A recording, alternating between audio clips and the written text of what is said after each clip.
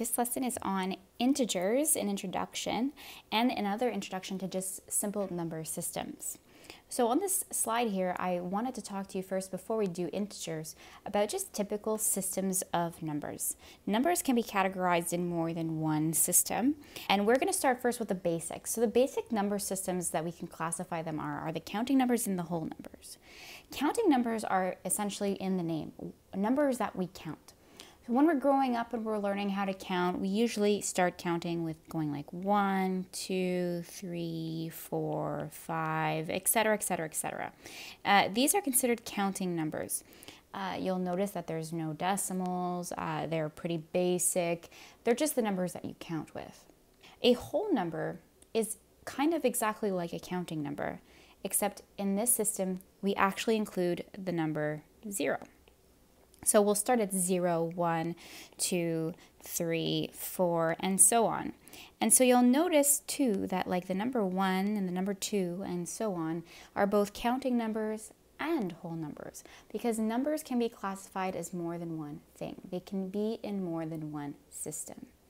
Today, in this lesson, we are actually going to focus on whole numbers, but we're also going to focus uh, on their opposites. So what I mean by that is when we're talking about what an integer is, an integer is a whole number, so 0, 1, 2, 3, but also their negative opposites. Uh, so before we talk about negative opposites, I, it's very important for you to understand what the sign of a number is. Uh, you think of signs as maybe something that you see outside, but in math, a sign is either positive or negative. So when we talk about the sign, if somebody says to you, what is the sign of this number? You have two options, it's positive or negative. What you need to know is if you're given a number like the number 5 and there's nothing in front of it, we automatically assume that it is a positive uh, number. We do, though, sometimes put the positive number symbol, and the symbol for positive is plus. So plus or positive, right? The symbol is a plus, but we do say positive 5. We don't say plus 5, we say positive 5. The symbol for a negative is the subtraction sign here, uh, and we don't say minus 5 we say negative 5. It's just proper math. Saying minus 5 is not necessarily wrong, but it's not proper when we're talking about mathematics and talking about signs of numbers. So this is negative 5, this is positive 5. And like I said, any number that is negative will have this dash in front of it, but any number that is positive can be written as a positive 5 with the plus symbol, or it's just written as the regular number. The exception to this is the number zero, because zero is uh, neither positive nor negative. Neither positive, it's just it's just zero. and uh, you'll see when, when I show you the next slide that zero is like the neutral subject when we're talking about numbers, whole numbers, counting numbers, or integers. So remember sign of a number, positive or negative. Remember that zero is an exception. Remember that we are talking about integers. So what I've done for you here is I've created a number line, but we're going to call it the integer number line. And you must have seen this somewhere uh, before, where, or even just a number line. You must have seen number lines before. Sometimes we use number lines to help us determine what's bigger and what's smaller than other numbers.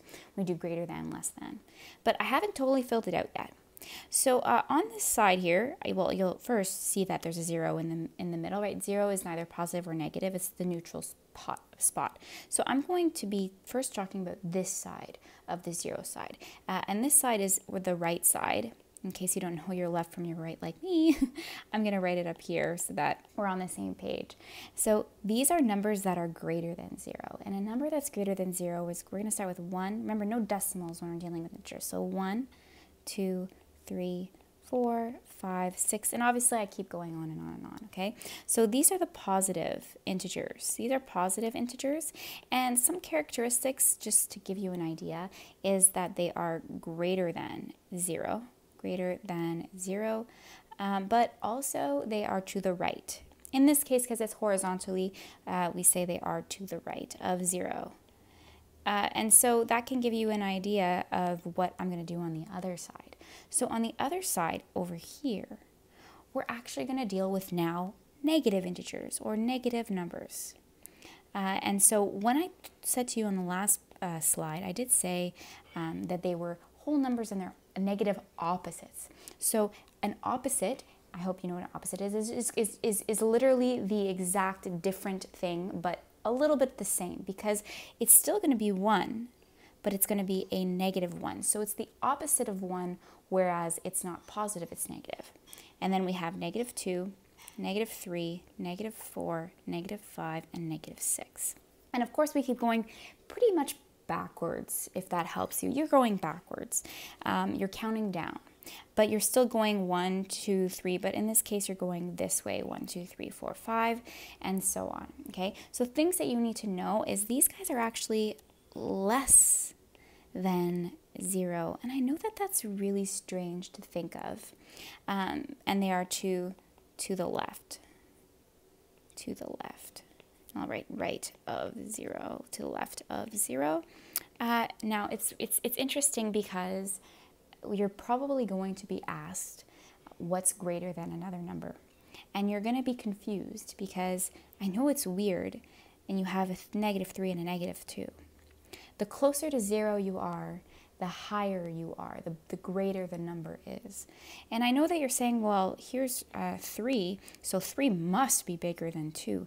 But actually, in this case, this here is actually smaller. A negative 3 is actually smaller than a negative 2. And same like if you were here and you saw, um, you know, like a 6, if you were here at negative 6 and I asked you, what's bigger, negative 6 or negative 2? You might be like, oh, well, negative 6 because 6. But actually, the bigger the negative, uh, the smaller it is. And that might be a bit hard for you to understand at first, and that's totally a-okay what helps me that I wanted to show you in this video lesson was to actually draw out a number line like this. Uh, you've probably seen something like this before that you don't know it, and I'm going to write here. This is kind of like a thermometer. Maybe you've seen a uh, thermometer. Um, a thermometer has this uh, positive and negative. You just don't know it. We do say it every day. We say minus, it's minus two out, you know, it's minus three out, it's plus four out. Uh, but in math, we're going to use the words positive and negative.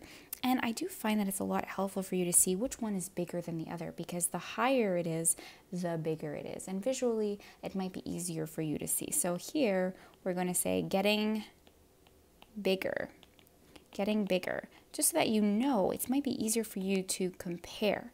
So this is getting bigger, whereas this here is getting smaller. Um, and also, I know that I finish at 5 and negative 5, but of course there's these arrows here, so I hope that you understand that it's all the way to infinity. And in this case, it's all the way to a positive infinity and all the way to a negative infinity. Um, so that's essentially what an integer is. We're dealing with negative numbers and now positive numbers. And of course, using a number line is going to be super helpful for you because it's easier to you, for you to visualize. So I encourage you to always make a number line or have a number line available to you when you are dealing with questions that deal with integers. And that is it for your introduction to integers.